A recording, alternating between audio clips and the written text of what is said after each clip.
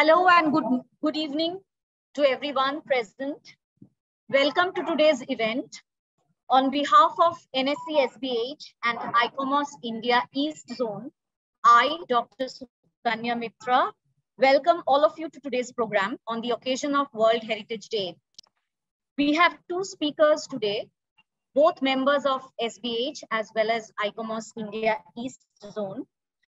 They will be speaking on Tiretta Bazaar, the journey from obscurity to global recognition for Kolkata's oldest Chinatown. The first speaker today is Ms. Sohini Pyne. She is a conservation architect trained in SPA Delhi. She was the one who worked to obtain the nomination status for Tiretta Bazaar in the World Monuments Watch list. She's also a member of NSC SBH and ICOMOS India East Zone. So over to Ms. Pyne. Uh, thank you everyone for joining us. Uh, let me just share my presentation. Uh, so I'll begin. So um, I'll firstly start off with why this area, uh, why the Uh, Chinese uh, may, if I may, started settling hello. uh, in Kolkata. Um, so the accelerated growth of Calcutta as a trading center under the British between the mid 18th and the mid 20th centuries saw the influx of a diverse group of trading communities, not only from different parts of the Indian subcontinent, but also beyond. So there were the Armenians, uh, who were the pioneers of trade in Bengal. we cannot Uh, still there were uh, the see the Baghdadi screen. Jews, the, The, the Parsis, screen is uh, so with the growth of Calcutta in the 18th, uh, in the mid 18th and uh, mid 20th centuries, uh, this brought in a large, uh, a large uh, section of diverse communities, not only from the Indian subcontinent but also elsewhere. So this included the Armenians, the Baghdadi Jews, the Parsis, uh, and also the Chinese who made their way to Calcutta. Uh, Calcutta, which was only a group of hamlets in the six, in 1690, rapidly transformed into a cosmopolitan city with diverse ethno-religious communities who contributed a piece of their own identity to the city's heritage. Now, chiefly being uh, involved in trade, these communities came settled in the uh, historic bazaars of the city, which we now understand roughly as central Calcutta, including uh, Bara Bazaar, Bo Bazaar, Tiretta Bazaar, etc. So, uh, in Tiretta Bazaar, uh, we see the uh, the the settlement of the Chinese community who came and set, uh, uh, settled in Calcutta. So it's giving a backdrop of just giving a uh, like a brief historical backdrop of the Chinese in Calcutta.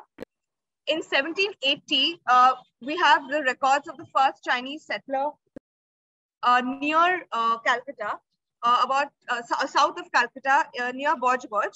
Uh, uh, we have Yong Achu, who was a tea trader who came to uh, uh, uh, Calcutta in 1780, and uh, Warren Hastings granted him about 650 bighas of land to establish a sugar plantation and a sugar mill in exchange for the tea that he brought with him from China. And uh, Achu uh, brought about 110 men with him and established this mill. However, within of a couple of years, uh, uh, unfortunately, Achu passes away, and um, the mill uh, is also put up for auction soon. Uh, by then, by 1788, and uh, in the coming in the coming years, there are multiple uh, uh, uh, there are multiple reports of uh, several Chinese residents in Calcutta. For example, Colesworthy Grant in 1847 mentions about 25 Chinese shoemakers settled on Koshaitola, now Bentinck Street. Along with along with uh, a similar number of carpenters who were engaged in the ship in the shipbuilding activity. Uh, so uh, by uh, 1839, uh, with the opium wars in China, we see another uh, wave of migration to Calcutta. And by the mid 19th, uh, by the mid 19th century, there's a full-fledged neighborhood of the Calcutta Chinese in central Calcutta. Uh, Jawhar Sircar writes, the 20th, cent- the, the, uh, this formed a distinctive Chinatown with traditional Chinese temples, dragon architecture, gaily painted signboards, and festivals in their bold and picturesque language, with the rustle of red silks and the aroma of Chinese food so temptingly around.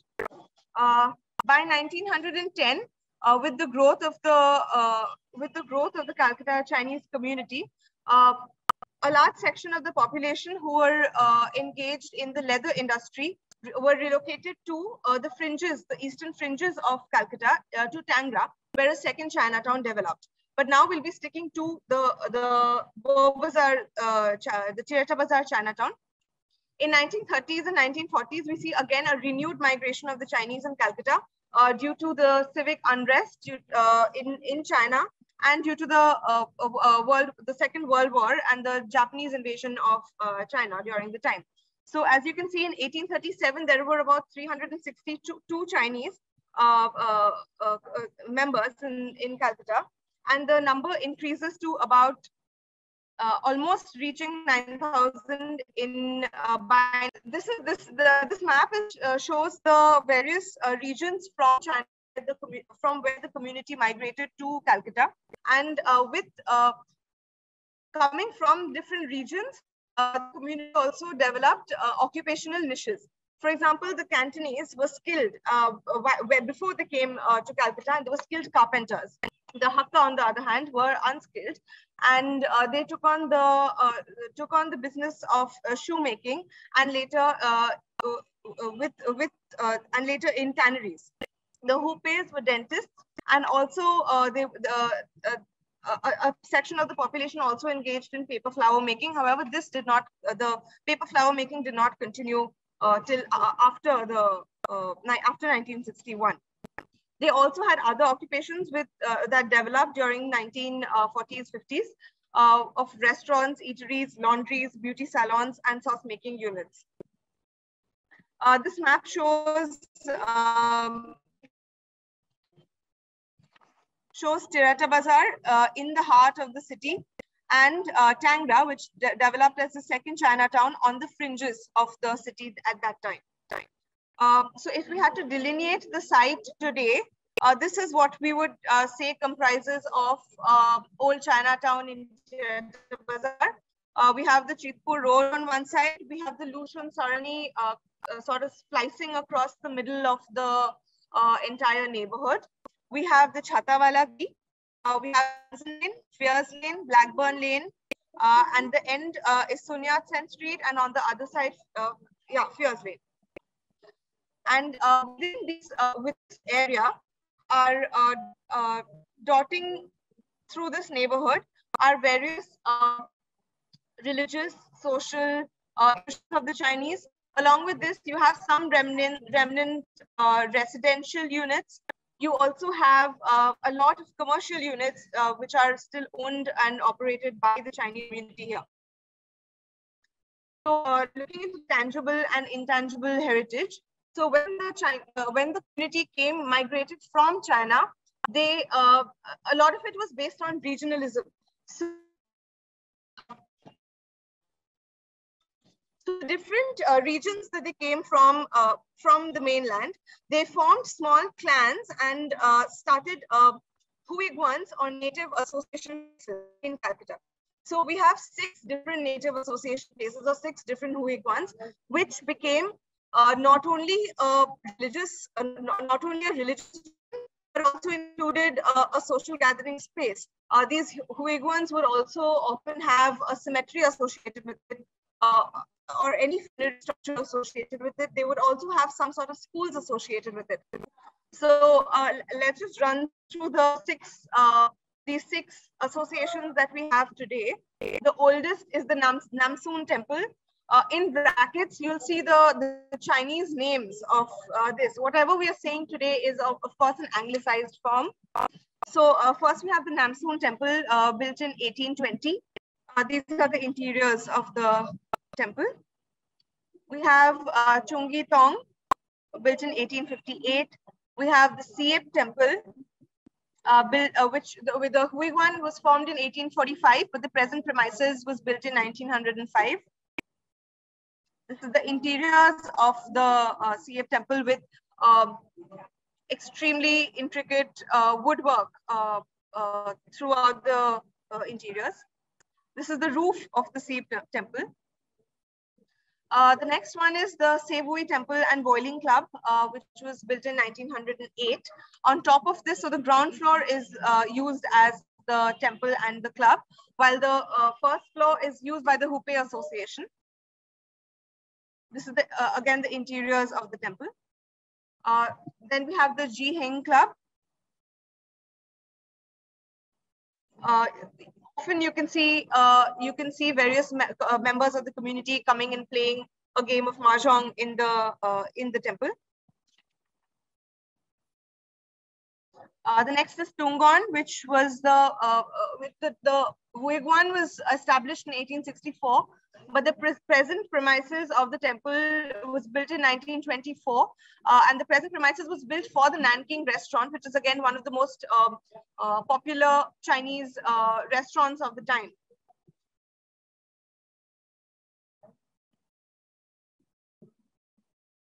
Along with the uh, religious and social institutions, we also have other structures.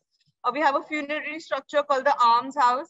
Uh, we have residential structures. We also have uh, various commercial establishments. Um, just a few meters away on uh, Chitpur Road, we also have Chinese shoe stores. Um, the, the the heritage of the Calcutta Chinese is not limited to only the tangible. Uh, the, the, the community also still celebrates with uh, a lot of, um, they are very active in celebrating their uh, Chinese New Year. There are various other celebrations like All Souls Day, which, uh, which takes place. Uh, these are various photographs of the uh, celebrations during the Chinese New Year in 2020. There's also a breakfast market, which is uh, very well known in Calcutta. Now, the turning point for this community was the, uh, the Indo-Chinese War of 1962, uh, where a large uh, section of the population was uh, taken to internment camps uh, in Deoli in Rajasthan. And uh, from there onwards, the population has declined and is rapidly declining even today. Uh, any organization with with uh, the Chinese were shut down. The Chinese schools were shut down. Uh, many people were laid off jobs. There were issues of citizenship. Uh, there were poor scope of there was poor scope of employment. There was poor business opportunities for the Chinese, for the Calcutta Chinese. And, this has caused migration from Calcutta to, uh, to uh, Canada, Europe, Australia, and parts of North America. The scenario today, uh, with large-scale outmigration of the Calcutta Chinese, the population of these communities have dwindled to a minuscule percentage. Uh, this gap has been filled up by communities of today, uh, other communities who are either unaware of these heritage structures, uh, of these heritage resources, or attach very little or no relevance to these structures. The issue of conservation for, of these shared built heritage resources has taken a backseat in these uh, densely commercial uh, neighborhoods. And uh, due to which the structures are facing a threat of encroachment, abandonment, and dereliction. So this uh, led me to the question of who then uh, who then takes ownership or takes responsibility for the conservation of these built heritage resources who's uh, who the, the chief stakeholders of whom are uh, dwindling uh, very very rapidly and who now takes ownership to ensure the conservation of these resources especially the living heritage and uh, the less uh, the less famous but equally significant structures which uh, which are not pr protected under the center of the state. Yeah, these are some photographs showing the present scenario. So you can see in red is the Tungon uh, temple and in yellow is the Sea Ip uh, temple, which are completely engulfed by the, uh, the, the, various other uh, buildings surrounding the area. So what used to be a sort of mixed use, uh, low rise uh, settlement has turned into a very densely commercial settlement with office buildings. And this has completely uh, this has completely disrupted the uh, human scale of the neighborhood and the and it has uh, disrupted the historicity of the neighborhood. Along with this, there is a lot of problems of waste disposal in front of the right in front of the uh, temples. Uh, there's encroachment by squatters. There is uh, there is there is a huge problem of on-street parking right in front of the temples. Again, you can see waste disposal in front of the Sea Ip temple. And this uh, brings us to the need for revival of, uh, of this uh, neighborhood. So Old Chinatown is a testimony of the cosmopolitan nature of Calcutta and the culturally pluralistic society that it housed between the 18th and 20th centuries. Today, Kolkata is the only city in India housing a historic Chinatown where the neighborhood has great historical, associational, uh, and socio-cultural value. And amongst all the minority communities that had come and settled in this uh, in this area in central Calcutta, uh, we only the Chinese community of Calcutta retains their population uh, in a, uh, in a, significant number, and uh, the living the, the, sites are all the temples are all living sites where we still see rituals and being performed, and the traditions are still up, upheld and they are they are maintained even to the day. So. Um, and also the architectural heritage of the neighborhood is very unique. It's not seen elsewhere uh, because it's a it's a mix of uh, the local architecture layered with all the layered with colonial the prevalent colonial styles. For example, if you see uh, the Tungan temple, which was built for the Nanking restaurant, it's a neoclassical. It has a neoclassical facade. And uh, but only when you come to the interiors of the temples will you see in the ornamentation of the interiors and the iconography will you see will you understand that this is a, a, a, a sacred site of the Calcutta Chinese community. When you come inside, you have these uh, uh, very intricate woodwork uh, with uh, uh, showing various figures of mythical Uh, mythical mythical figures. Uh, there is there's uh, ornamentation with vegetation, with flora, fauna, um, and this this sort of makes the the temple so distinct However, when you see it from outside, they are, they are of a very humble scale, uh, not very grand, not very grand and uh, overbearing structures. And uh, they have this human scale to it. And the it's, it's very important to see how the, uh, the local and the global have come together and uh, uh, forming a very syncretic architectural styles.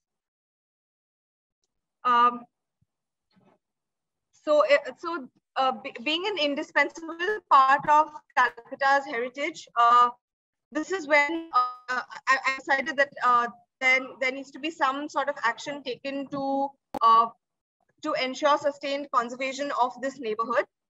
Uh, so in 2021, uh, the World Monument World Monuments Fund uh, uh, World Monuments Fund asked for applications for the World Monuments Watch, which would be released in 2022. And this is when I submitted the nomination for uh, Tiretta Bazaar Old Chinatown. So they were mainly looking at three things. One is the cultural significance of the neighborhood. Uh, the second is the urgency with which it needs to be protected. And the third is the feasibility of the project. So uh, with these three uh, criteria, uh, the it was no, it was nominated to the World Monuments uh, Watch in 2022. And these are some of the press coverage of the nomination uh, of Tiretta Bazaar to the World Monuments Watch. And uh, over the next two years, uh, World Monuments uh, Fund will be uh, assisting um, through financial aids and through um, technical expertise to ensure the conservation of this historic neighborhood, which is uh, which is so important for our city. yes. That's it. Uh, thank you. We'll go over to the next speaker. Thank you, Sohini. We will now move on to the second speaker, Ms. Kamalika Bose. She's a conservation architect and has worked on several national and international projects and is the founder of Heritage Synergies.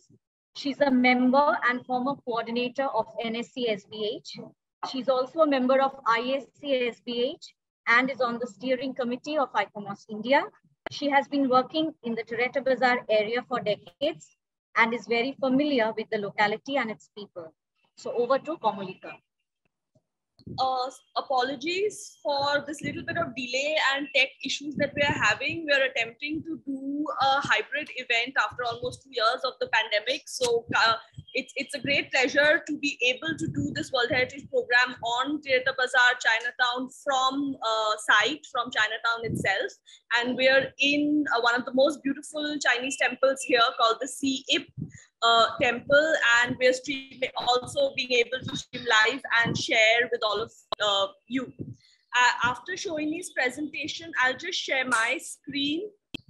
So what my is going to focus on today is uh, to, to sort of chart this journey, this uh, which has been almost like a decade-long journey, which has led to uh, what has been the initiatives and what has been the long decade-long journey that has led to uh, Chinatown being recognized in Tiretta Bazaar as an endangered uh, site by the World Monuments Watch, and how was it established as a significant uh, precinct not only within Kolkata but within the context of shared built heritage, and what have been the various initiatives uh, in the past that have led to uh, this sort of a recognition uh, from local, uh, from obscurity. People in Kolkata barely knew about the Tiretta Bazaar Chinatown to the sort of global recognition that Sohini's uh, nomination has been able to secure. Uh, I will also be talking in the context of uh, the CHA project, which I will introduce to you all in some time, for which the principal conservation architect, and how that also had several initiatives that which which so sort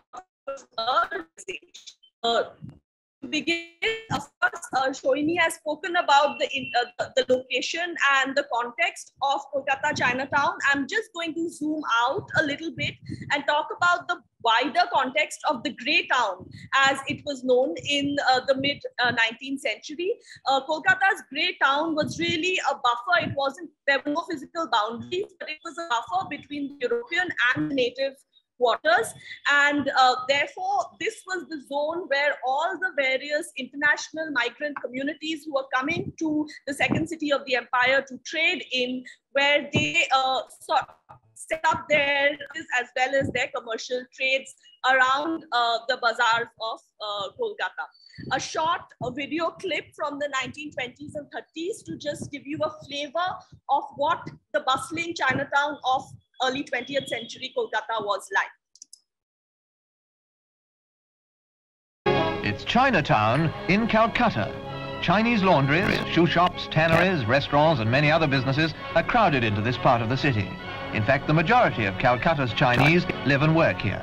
And there are some 30,000 of them. So, so in this context, we see that in, in the early and mid 20th century, we have about 30,000 Chinese, uh, Indian Chinese uh, living and working in Kolkata, calling Kolkata their home. And this was within the broader context of uh, the grey town of Calcutta. And right from the early uh, 20, 19th century census records, we are able to see the presence of the Chinese in Kolkata. So about 362 uh, Chinese were noted in this area uh, in 1837, along with other ethnic mig uh, international migrants such as the Portuguese, the French, the Armenians, and the Jewish.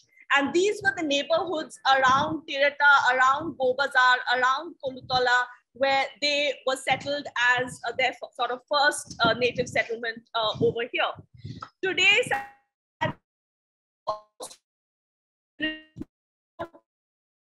many Armenians, Greeks, or uh,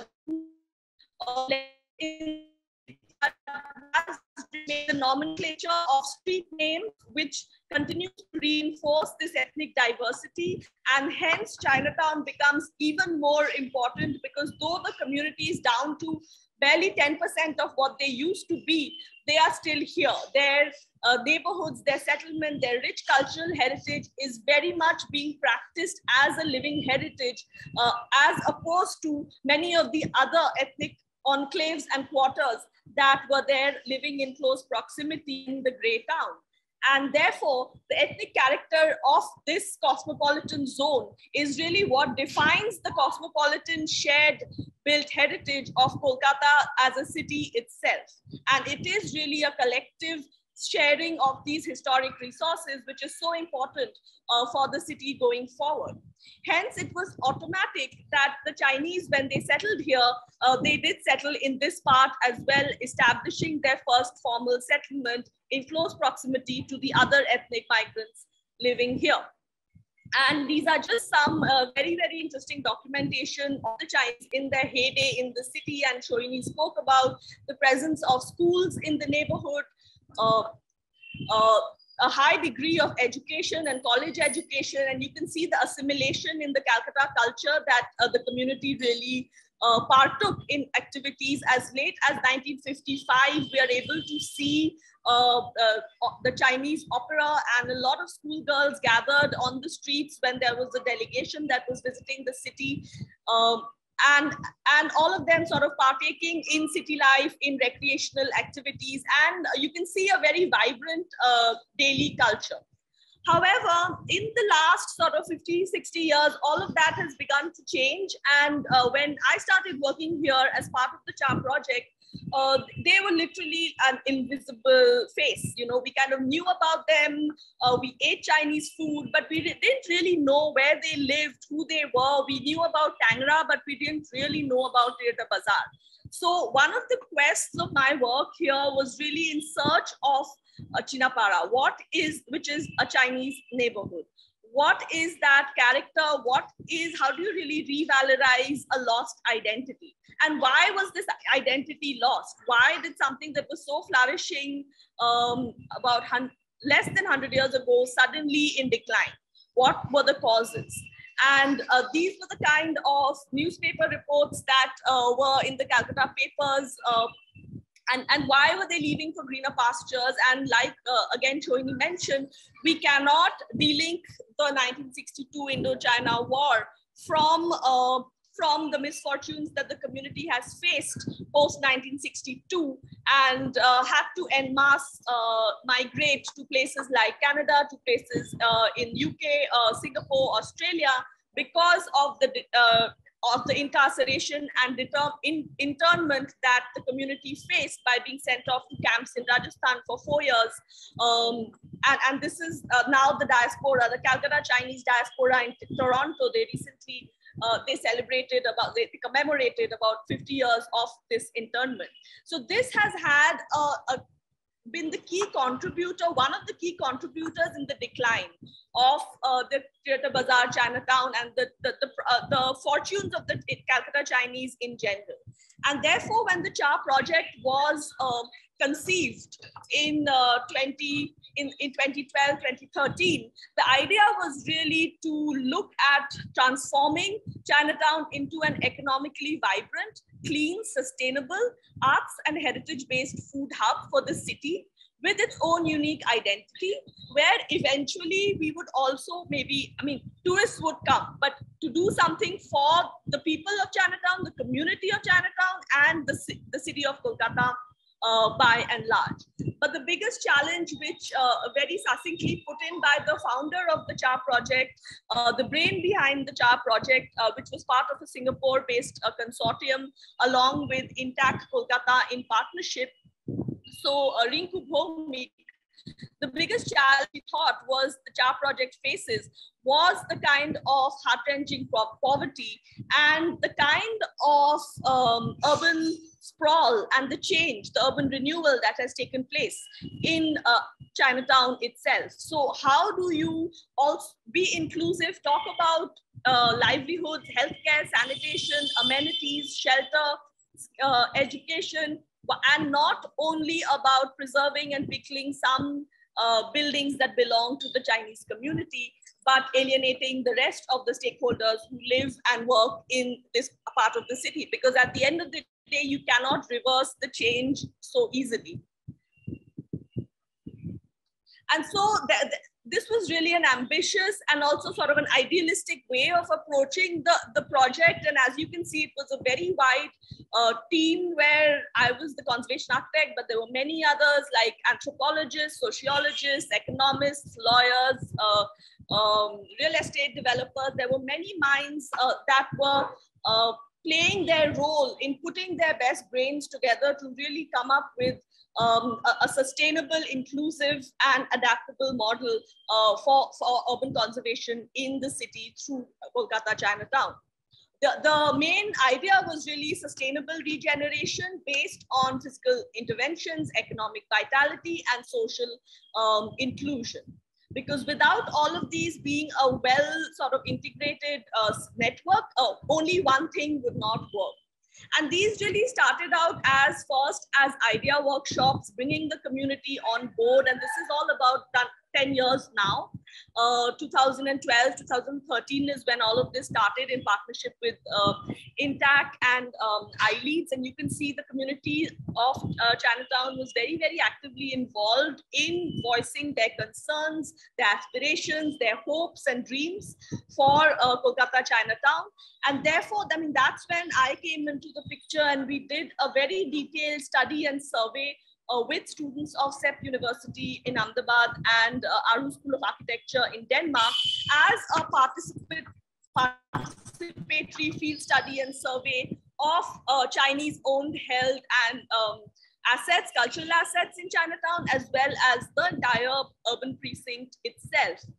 And uh, the, the, community completely sort of joined in in this effort. We were here for about three weeks in May, which is the peak of Calcutta uh, summer. Uh, on the streets of Calcutta and the way we worked with the community and the community opened their arms to help us. Uh, that really was the first seed of this process. And why that became important is as you can see the sensitive development and change that has taken part in the urban fabric, several sealed and abandoned buildings right from the 1962 uh, post-war period when they lost their trade license and uh, properties, which has really led to what the state of even one of the most showcase streets, uh, which is Blackburn Lane, was uh, just about 10 years and from there, therefore, was this whole endeavor to map Kolkata's old Chinatown, which had never been done. The, how can we make a community feel proud of what they have if they even know what they have? And, and hence, uh, through these kind of participatory workshops and discussions with the students and the community hand in hand, this is the kind of map that they were working with. They had no idea what the boundaries of Chinatown were. They had no idea where, you, where, where it began, where it ended, where the key sort of uh, uh, spaces and precincts uh, were. And therefore, through a very, very thorough documentation and uh, survey of every building, every street uh, of this precinct, uh, we were really able to first put together a map and a, for Chinatown.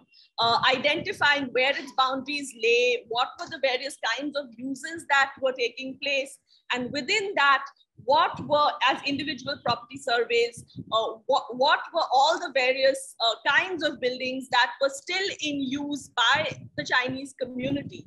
And what were the various intangible and tangible assets that the community still held and lived in?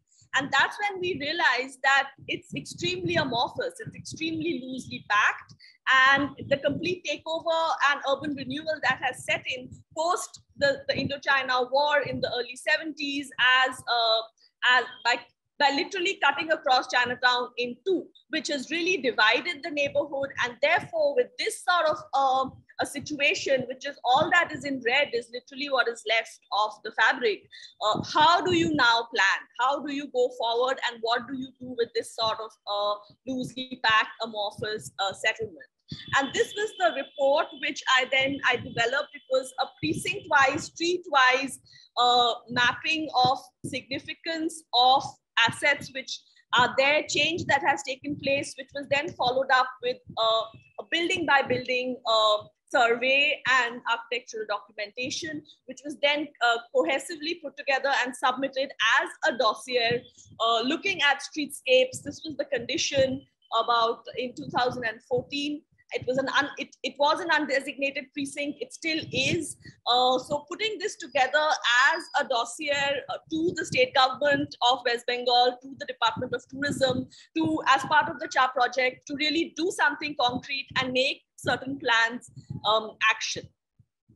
And of course, that is along with the streets, we also documented all the temples, the social clubs that Sohini spoke about, the, the living heritage and the daily activities which uh, take place over there. Each of the then this is an old sort of membership. So there's it's a very active and a fulfilling life. This here despite of the, uh, the urban decline that the place has seen over the years. Uh, the six temples were documented thoroughly in order to uh, start off restoration processes for them slowly as funding is made available. Uh, this documentation also did not exist earlier. So now there, there has been for some time a very thorough documentation of the six temples. Other funerary monuments and institutions such as this almshouse um, which was also not documented. And now th there are talks of some sort of adaptive use of this as well, along with uh, the, the, cemeteries and the burial practices, which are linked to each of these uh, six uh, different communities and six different uh, temples and subcultures within the, the, the, Calcutta Chinese itself. So we did really a, a complete and thorough documentation of what Calcutta's Chinese ethnic ident cultural identity and heritage was all about. The other important layer for us to document was the occupational vitality and the economic identity of the community who are extremely, um, um, extremely enterprising.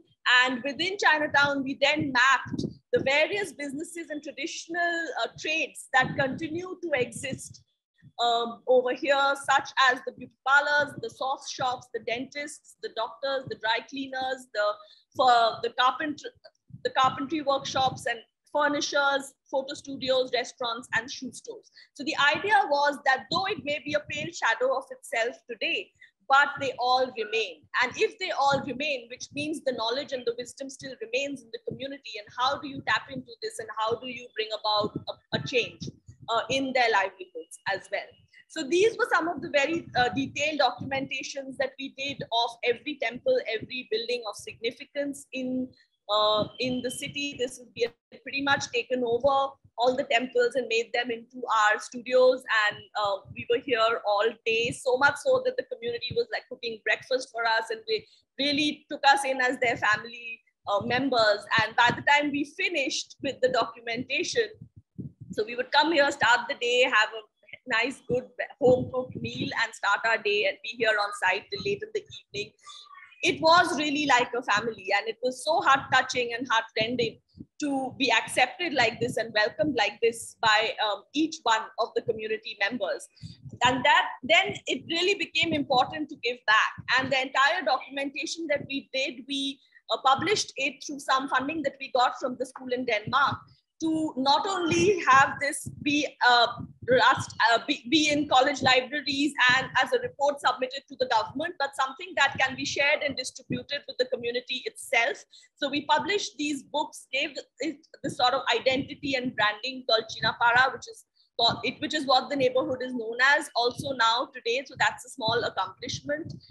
And since then, the CHA project has uh, done many, many different kinds of initiatives, different kinds of brought in different kinds of teams, uh, addressing waste management, addressing poverty alleviation, of use, and, um, and also on very intensive stakeholder surveys with the residents and the communities with uh, with, with, the diaspora who now lives abroad, with the government and non-agency to really understand how can we make this neighborhood better?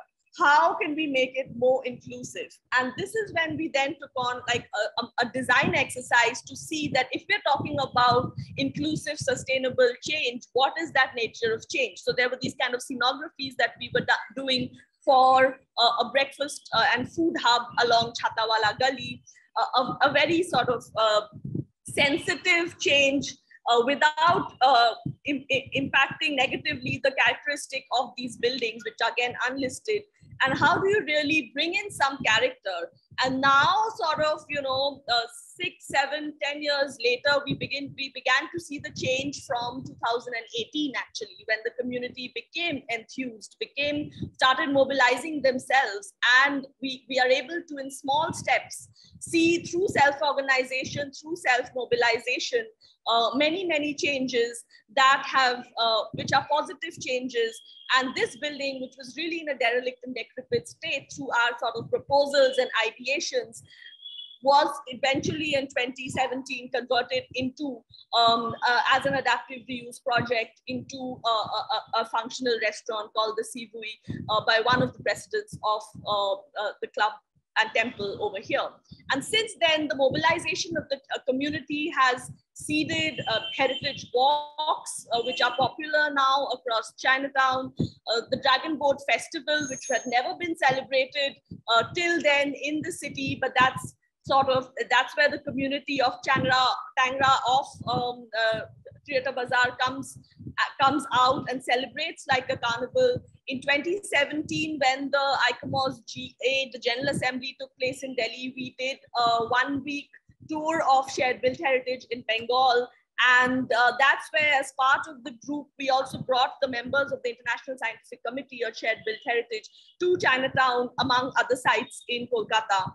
And it has been a sustained sort of small actions and small initiatives which have led to a greater awareness both by the citizens and the young uh, citizens of youth of Kolkata, along with uh, national and international awareness, which has come about by, by different stakeholders, by different actors, and primarily by the community itself, because a revived community is really uh, the most important er, imperative for conservation.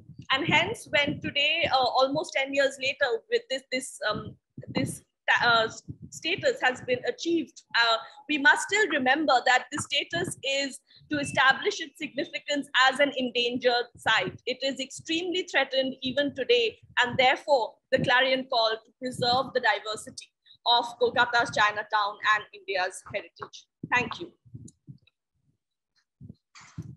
So thank you, Kamalika, for, the, for your wonderful presentation. So we will now take questions and comments. Both Sohini and uh, Kamalika, you can address them to either of them and uh, they will answer.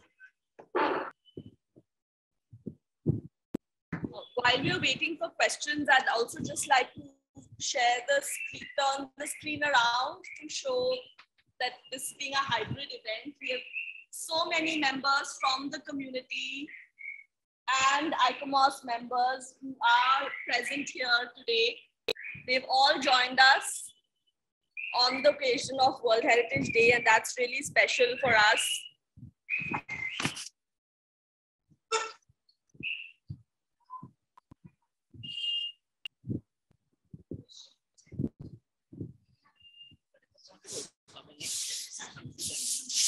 So, Yeah, so now that uh, it's on the site, there will be three major things that uh, World, World Monuments Fund is looking at. Uh, one is awareness and outreach. Uh, second is uh, to to add like advocacy to for the urban uh, renewal of this entire neighborhood.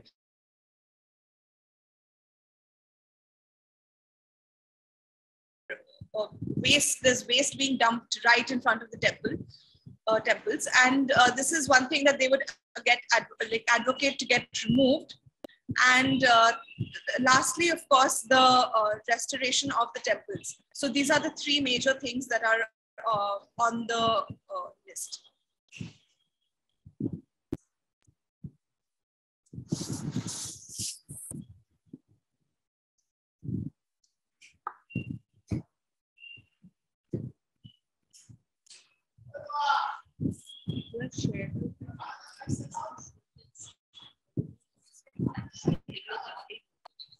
Uh, are there any plans to create a museum?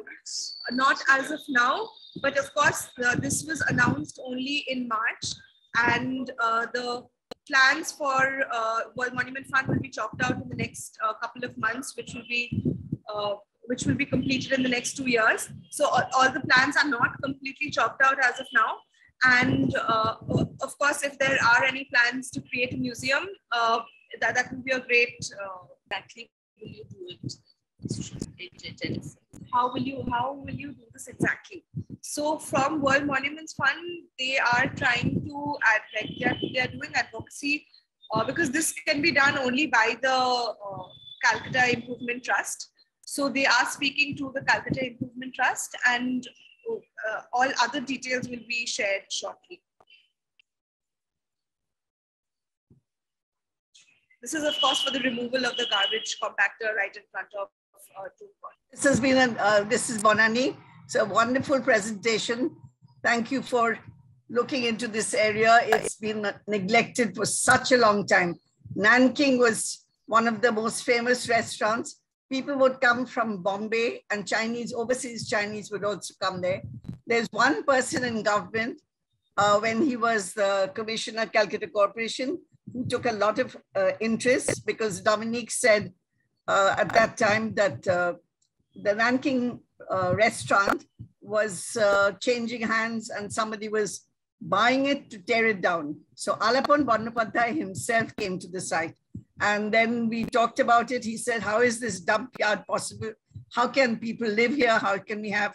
I said, this is your city, you clean it up. So I think more than KIT, because now that's part of KMDA, they're very slow, very lethargic. You should get Calcutta Municipal Corporation and Firhad Hakim involved in this because it's a minority community and they need the protection.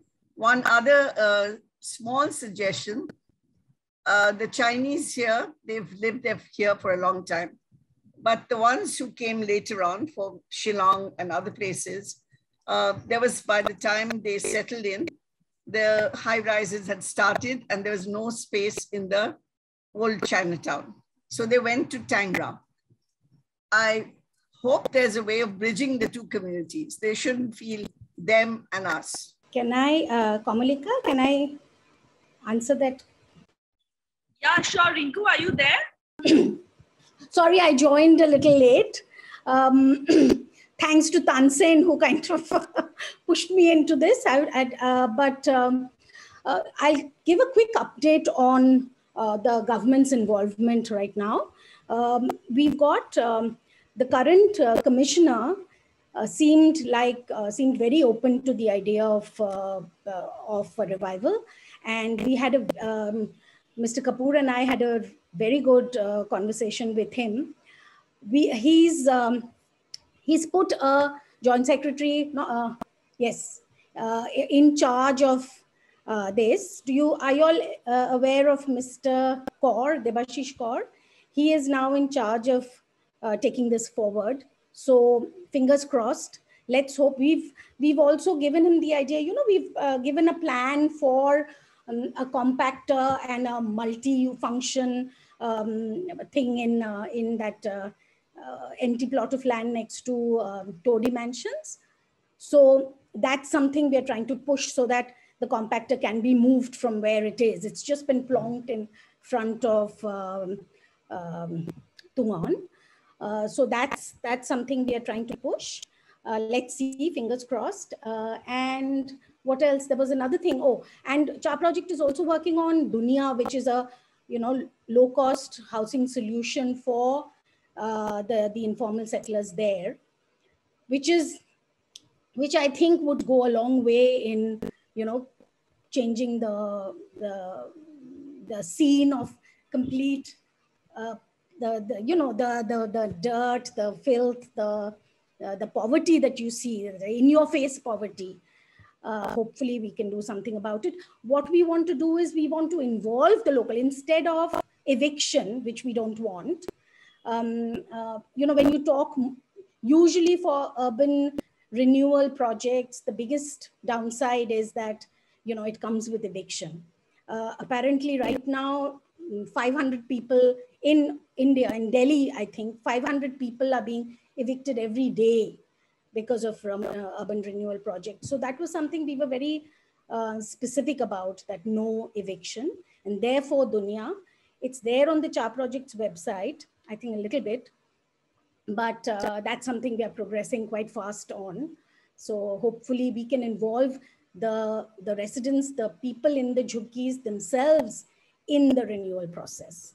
So yeah, that's my little update. second part to that, I asked if the Chinese living in Tangra, they should yes. feel that they're outsiders. I know they come from different parts of China, but they too, it's a joint heritage and they should be out because a large number of them live there, isolated from uh, Tiretta Bazar. Absolutely, Banani, you're absolutely right. So we have in our project report, we also have a big focus on um, the future of Tangra, what can, you know, we've got given vision uh, vision report on what uh, what we can do with Tangra. So I think there will be like once this dunya thing takes shape, uh, it is something that could um, benefit both both uh, uh, Tiretta as well as Tangra. So we'll see how it works out. But uh, I think uh, baby steps. It's been so long, you know how it is. Two steps forward and three steps back. So think. But for Tangra, you have to move very quickly because yes, yes, real estate oh. people have their eyes there. Absolutely, the, that community really well. Yeah. And at night, if there's an elderly couple uh, in a house, a mm -hmm. huge brick shatters the window, and then a, a week or ten days later, they pack up and they leave. So that's a land grab. It's a different way of doing land grab. So mm -hmm. a lot of tension in Tangra. So you Absolutely. have to yes um, and you know just gated communities everywhere they're just popping up every day so uh, it is it is a matter of grave concern and uh, hopefully eh, eh, with everyone i mean we are just really a drop in the ocean so when you know with everybody coming in um, we hope to move forward. the work you're doing is so wonderful. I'm so happy you're doing it. Thank you. Thank you. Thank you, Rinku and Bonani. Um, if I can just jump in to now uh, take some of the questions in the chat box. I think there are quite a few questions on uh, yeah what is the role what is the status currently? Is it protected not protected? What is the role of the municipal government? Uh, etc. So uh, yes, so, so Kolkata, just to clarify, does not uh, have any provisions for uh, listing heritage precincts or conservation areas or districts, and hence uh, we it's a very difficult situation when we talk about uh, the, the urban ensemble of Chinatown. Uh, it, the six Chinese temples that exist here are grade one listed buildings. However, uh, over the years, many of them are also now deteriorating. They're not in the sort of robust condition that they were in few years ago. And very shortly, there will be additional funding and expertise which may be required um, for these temples um, as well.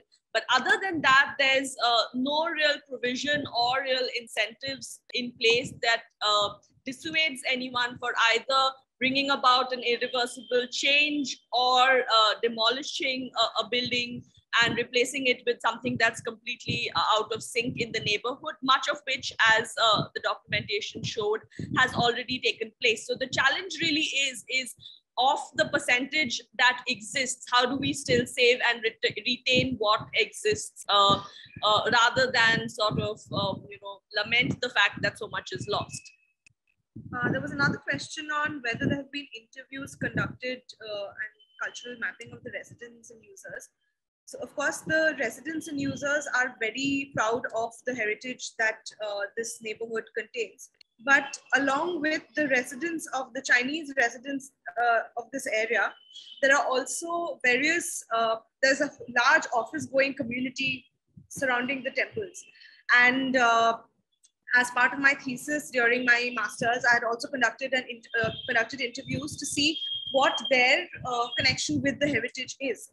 And it was very sad to see that they have like very little or almost no relevance uh, uh with these structures because they don't they don't understand the significance of these structures. And I think that is also very important uh, uh, to know because this is a building with largely who, who largely uh, in the you know above 50 bracket. So it really rests on our shoulders the communities of today who are sort of um, working in these areas uh, to to take the responsibility to safeguard this heritage.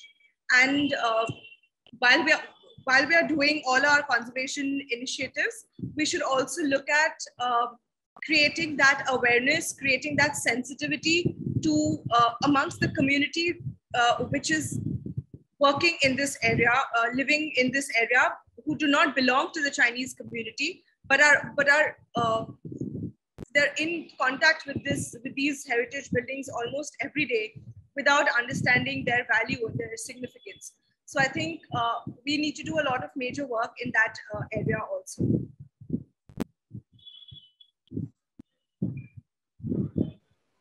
Um, another quick point. Well, in what we Sorry. are aware, I think there's a question by Tansen, but uh, no, over the years, over the years, the Chinese community has actively reached out uh, to the consulate. The consulate has been quite proactive in uh, helping them in various uh, initiatives, and uh, that's definitely um, that's definitely um, a channel which is open. But what is, I think, what is still missing, in my opinion, even today, is this sort of uh, apathy from uh, the, the, the city itself, uh, from, from the broader uh, city, and as, as well as uh, other agencies, local bodies, etc., because of their sort of minority status, they don't really exert the kind of pressure that can bring about uh, a holistic kind of a change. And even today, there is so much, there is so much of an othering because of the kind of identity that they have that any kind anytime there is any kind of a turmoil that takes place um, across borders or you know at the national or international front there there is a backlash that does take place for this community even today. And that is the sad uh, part that despite being seven, sixth seventh eighth generation uh, calcuttans uh, there is still um, uh, an, an, issue that and, and uh, a, a lack of sensitivity that the citizens of um, Calcutta show towards uh, the Calcutta Chinese. Okay, uh, I also wanted to wanted to ask: Is uh, Mr. Chen there in uh, in Sea Ip today? Yes, he, he is. He is. I was just going to tell him that he should say something. Yes, because not, not only should he say uh, speak about what he's doing, but also the concern that we have about certain buildings that are currently in the process of you know with with owners are talking about. There are owners who yes, are. Yes, Mr. Chen is here and we are requesting him. So even as we speak, there are certain buildings that are, you know, there is some kind of takeover takeovers happening. So if you could just address that. Yeah. No, no, that's very true because even like today, I'm coming here after uh, a while. I mean, all of lockdown, uh, and it's Sea Ip temple where we are right now used to be visible from the main road. And today it's just hidden. It's completely taken over by temples by other kinds of things. And you can't find the temple anymore from from the street. So definitely things are very very rapidly changing. So uh, mr chen please. Good evening madam. Good evening. Good evening. Um, first of course we should all thank you for you know being one of the first people to to set an example of uh, adaptive reuse in uh, Chinatown. And uh, if you can just tell people that how there are, you know, takeovers happening and there could be some temples that could face demolition. And therefore we all need to, you know, sort of uh, get behind this and do something about it. Can you just tell, is there something that you can tell us about? Thank you, madam welcome, most welcome. And uh, actually, a lot of things uh, going to happen.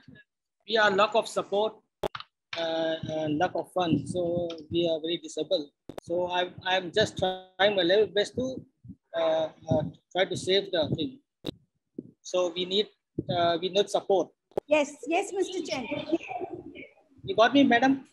Yes, now I can hear you. But I have because I have I have discussed I was I have discussed uh, with you a couple of days. Yes, yes, yes, and so it is really a matter of concern and. Uh, you know, with so much support, I'm sure we can do something about it. One of the things is uh, show me uh, if we can. Um, what about the status of uh, this heritage uh, watch status? Can that can that uh, sort of dissuade people from in any way? Can it doesn't have any legal standing, does it? But can it stop people from, um, say, trust, uh, trustees of a temple from selling it to uh, to promoters? We can hear you. No, it doesn't I- I have a legal understand. status. Uh, it, it does not have a legal status. Uh, we cannot stop, uh, they cannot, World Monuments Fund and the uh, nomination to the World Monuments Watch cannot stop uh, the buildings from being uh, taken over or being, uh, uh, yes, it, it, it, it doesn't give any statutory status to the uh, buildings. Uh, what what That if the uh, feeling to, to, to, uh, So what the watch does is uh, one, firstly is advocacy and secondly is uh, providing financial aid and tech technical expertise. So it doesn't have any legal backing to say that uh, these buildings cannot be demolished or these buildings cannot be uh, uh, used in, uh, in, in any other way. but can uh, can the heritage um, say an an organization like of course INTACH doesn't have it but the heritage what's it called the kolkata heritage is there a you know the, which is the organization that grants heritage status uh, is it KMD, uh, KMC? Also, it? yes, So- it's KMC. KMC has a heritage uh, cell uh, which Yeah. grants heritage. So could we, if what if we uh, give what whatever grade A or whatever to this? Does that mean that it can uh, it can kind of There's dissuade? already It is already grade A, right? For example, the six temples are already graded, but uh, for if a if a structure is not graded as of now, then Yeah. the process to get it graded uh, will will take a long a long period of time. Oh, okay, okay, okay. Besides the It can only protect protect the structures that are already graded. Okay, okay.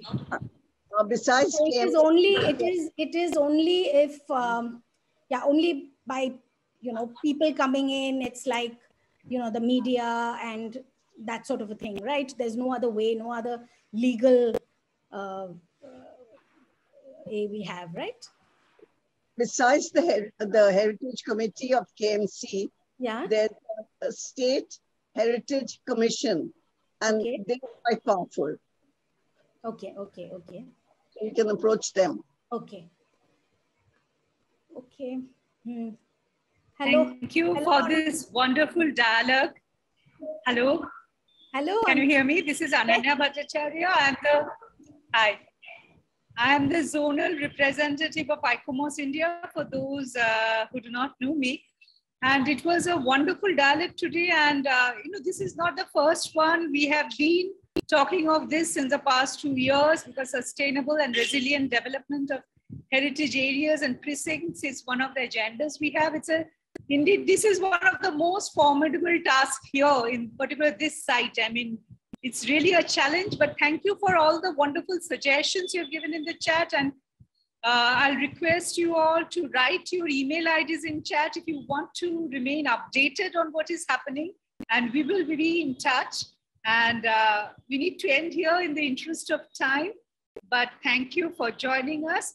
So I'd first like to thank Sohini and Kamalika for their initiative, you know, to get this highlighted on the important day of International Day of Monuments and Sites. So thank you, Sohini Pyne and Kamalika Bose. I thank Shukana, uh, who is heading the NSC Shared Built Heritage, for coming forward with support and assistance. I thank Karan, our executive assistant, for all the background work he has done. Biggest thanks to Mr. Chen for letting us use these premises. And this has really created a difference because, you know, if it is online, we are all talking. But today we are here with the community, and hopefully, though you will miss it, those who are, those of you who are joining online, you will miss maybe the chat we'll have over our cup of tea. But this is also extremely important, and I'm sure this is not the last time we are talking. So, big thanks to all the members of ICOMOS India and all the members of the of Shared Built Heritage and the community members who are present here today. Thank you very much. And uh, all others who are joining from uh, various countries. I can see international scientific committee members. So thank you. And we have noted your suggestions and we will be pursuing all this and we'll keep you updated And uh, please write your email IDs in the chat so that we have the contacts. And with that, uh, I'll end today. Thank you. And may heritage continue to be alive. Thank you.